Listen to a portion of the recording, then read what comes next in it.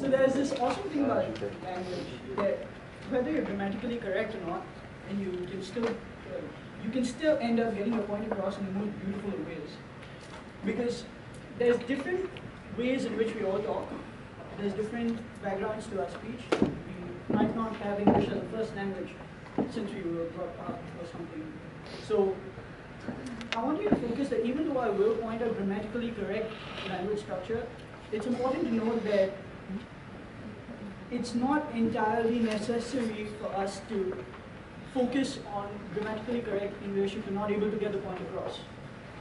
If we're more comfortable getting the point across in, say, Singlish, or in India we use English, which is Hindi English. So it's just more comfortable for you, and it's okay to use that. So to start with, I'd like to point out a few sentence structural faults which I found out, uh, which I spotted while you all were talking, and this is not directed at anybody, so don't feel offended. If you are, then come talk to me later, we'll deal with it. Uh, we can have a conversation. Yes. Guy, I think you and I will. Yeah. no, but there was this use of the word then after, where, which is not exactly the correct word. It would be thereafter. There's I love their pair. You cannot love their pair. It's I mean, if you say their pair, it's a very bold word. Uh, I love the pair. You love a pair. You don't love their pair. Uh, um, the green card is just light up. Uh, the card cannot light up. no, I still have quite a lot. Okay. So, and the green card is just light up, is not, again, grammatically correct. Subject, verb. It's the green card has appeared. Um, recalling someone, you recount to someone, you don't recall someone. Um, solitude time alone would be my moments of solitude because solitude literally means alone. um, is there such a thing as perfect to you? Is there anything that is perfect according to you?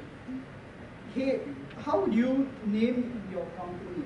It's what would you name your company? How is the process of naming the company? Uh, all students who comes in would be all students who come in. It's subject verb agreement. So when you use uh, plural verb, something I'm not too sure about my subject verb agreement and my explanation to you, so I, I know how it comes out correct, but I'm not able to explain it to you at this point in time. we'll talk about it later if you want to. Um, price will be cheaper. Price cannot be cheaper, it's an indication of the cost. So price will be lower, the cost will be lower, or that thing will be cheaper. And everyone have a hobby. Everyone has a hobby. It's a single, uh, singular thing, so we have to address it with a singular verb. Uh, the freaking Justin Bieber. Well, the freak Justin Bieber. There's a comma between the freak and Justin Bieber. I- I mean, I understand. Hakim, I don't mean to point you out, bro, but your English grammar isn't the strongest. oh, Uh, man. but but you, that's why I wanted to point out. You use Singlish. You're more used to Singlish, and that's the beauty of language that you can communicate in in a similar language to English, but still get your point across.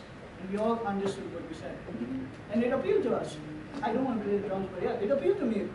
Uh, self-taught myself would be my drum skills are self-taught, or I taught myself. Uh, portray across, you don't portray across to somebody, you portray to somebody, or you get a point across. Uh, look forward for, sorry, look forward for, you look forward to something, not for something, and to don't just sit around. Okay, I didn't correct this. You two don't just sit around. The two is actually redundant. To don't sit around. Uh, these are just sentence structures, but there were a lot of good uses of English today. Uh, Shana and Praveen, you guys just went for the triads. Uh, Shana went for as long as blah, and then she went. It was during your table topics that pointed out a few triads. Can't really recall what. As long as I'm not, and if you do not do this, then if you do not do this, if you do not do this. She went on twice, Um, which is really good. It's really, ex it expands on your imagery. Um, you're able to use more examples. And probably new to, uh, if you do not, if you do not, and you also use pop pill, pop pill, pop pill, which is catchy, you know, pop pill, yeah. It sounds Don't. good, I'll, I'll do that, I'll do that. Don't. It's like, where can I get the Ladies, next use thing? the I'll point. pop pill. So, so it's catchy, it, it gets you Also in tune with what the speaker's trying to say. Um, studying fictional characters, studying minds, uh, I think it was Amos. Yeah, so studying minds, studying fictional characters, you use the same studying this twice, and it's catchy again. Uh, brain to brain, someone's heart to heart, hundreds and hundreds. When you listen to rock, when you listen to pop, when you listen to something else. Um, great words and phrases were dismay. It's a different word. There, there was this. Have any of you seen Dead Poets Society? Yeah. Yeah, so Dead Poets Society, there's this really romantic and this awesome scene where Robin Williams goes like, don't use the word very because it's lazy. And all the guys were like, yeah, I'm listening to that. And he says, because very is a lazy word, women cannot be wooed when you're lazy. Which I should have listened to, but anyways. Uh, the word dismay is to signify very uh, shocked or something like that. And dismay is just a single, more beautiful word to summarize two simple words. Uh, untold wonder, entreat for, to throw a party instead of just hosting a party. Uh, has me going infrequent, fine taste, forged friendships, forged friendships. And I like Hakeem's use of the word audiophilia, is it? Yeah, um, instrument of choice. And this stage is yours, own it. That was a great phrase. Uh, to cap it off, I'd like to thank the three people who used the word of the day, MC Jayshant and Amos. This was one weird word of the day, but y'all managed to and somehow incorporate it in your speeches, which was wonderful. Thank you.